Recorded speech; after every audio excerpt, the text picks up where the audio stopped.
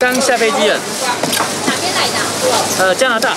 四大箱活体螃蟹一到货就立刻运到市场，迎接农历年办年货的人潮增加，摊贩老板生意比平日好两成。十二点左右起床，啊，凌晨，平常收摊都差不多一两点。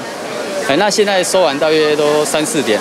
台北滨江市场的年货大街活动举办到一月三十一号，现场有超过两百个摊贩，而农历年又碰上周末假期，业者预估六日人潮将会达到高峰。尤其疫情升温，有些人不敢去餐厅，就多买一点食材自己料理。今天是只是来买青菜，啊，大部分都是订好了年货，每样东西都变贵了，比上一年贵多了，但是今年又是。大家都留在家里，都没有外出，所以花钱反而要比往年更多，准备的东西要比往年更多。